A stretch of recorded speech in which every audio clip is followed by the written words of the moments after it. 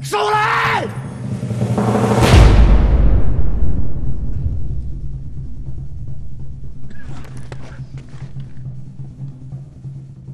把枪放下，起来，Game over。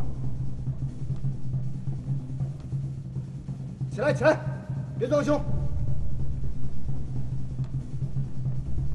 你让我起来的啊？对啊。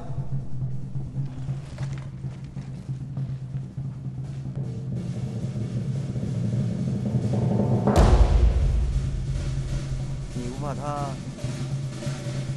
开枪！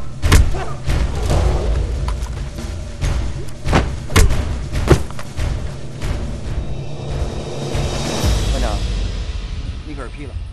解放军优待俘虏。陈光，怎么办？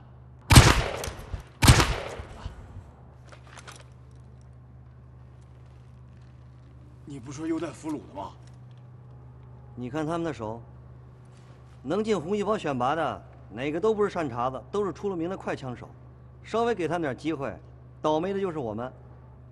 记住一句何氏名言：对待敌人仁慈，就是对自己残忍。拿走他们的武器跟弹药，还有水和干粮。好，给我们留一点。死人用得着吗？可我们是活死人啊。留一口吧。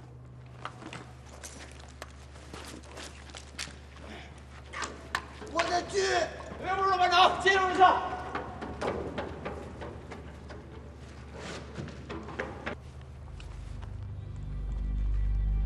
布置阵地。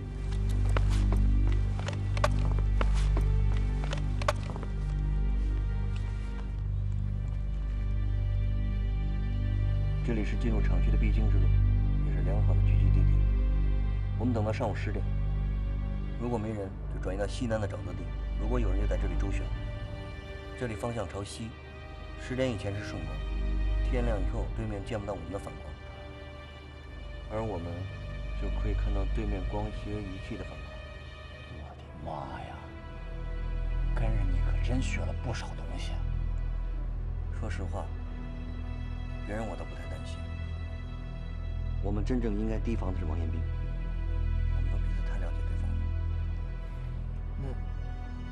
他现在在哪儿呢？问题就是我还没想到，所以我们要在这里等他。那你说，他知道咱们在这儿吗？现在还不知道，他很快就会想到。我故意在这里布置狙击阵地，我相信他会来找我。那这么说，这里是死地了。置之死地而后生。我们不在这里等他，十公里内的范围，我们根本找不到他。你先休息，三个小时后我叫你。那你呢？咱轮流休息啊。我不能休息，王彦斌不在我就不能休息。不是，七比二啊，我们还有七个人要对付呢。在我眼里，真正的威胁只有一个，王彦斌。